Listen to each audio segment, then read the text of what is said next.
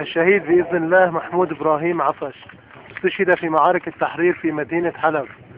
10 10 2012 الشهيد بإذن الله محمود إبراهيم عفش استشهد في معارك التحرير في مدينة حلب وهو من مواليد مدينة عنادان وبطل من أبطال الجيش الحر.